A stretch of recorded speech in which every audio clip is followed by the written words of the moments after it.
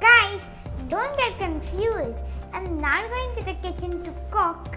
With the apron, I'm here to talk about the organs. So that's why you can see all my organs. Let's start. Brain. Brain and spine cord work together to send signals. It controls the movement of arms and legs, behavior, thought, and memory. Location is within the skull. Fun fact 70% of your brain is made of water. That's why it's squishy. Your brain is even working when you're sleeping in the form of dreams. Guys, now it's hard to pump the blood throughout the body, provides oxygen with blood required to live. Location, where it is located, and left side of our chest.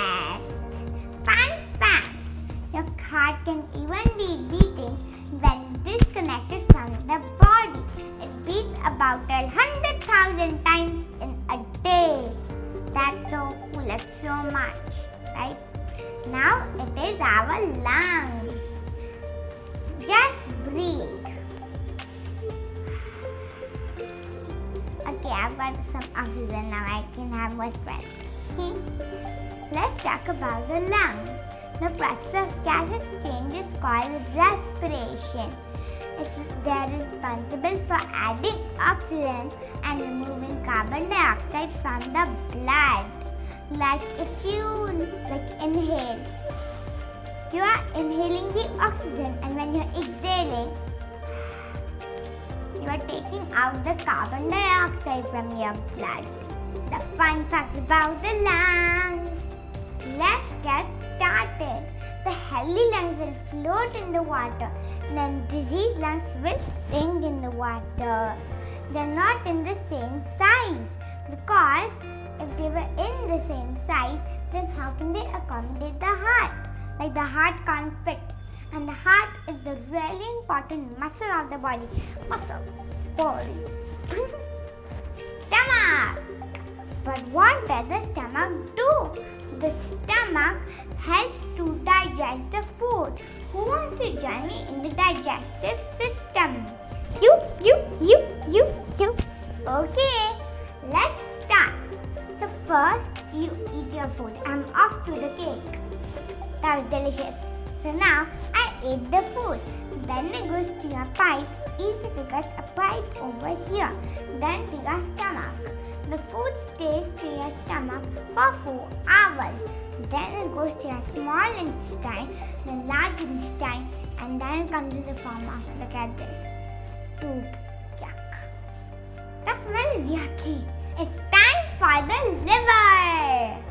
Let's do this. Okay, so what does the liver do? The liver cleans the blood. It produces an important liquid called bile, important digestive liquid called bile. It stores energy from carbs so that you can run faster and faster and faster. I'm running already. Okay, where is liver located? At the right side of our upper abdomen. Now it is fun fact. Seven, if 75% of your liver is moved and 25% is left, then that 25% can regenerate a whole size liver in 8 to 15 days. Now it is our kidneys. Let's start. So, what does the kidney do? It filters the blood. That's pipes. One makes the blood come in, one makes the blood come out, one makes the waste material come out.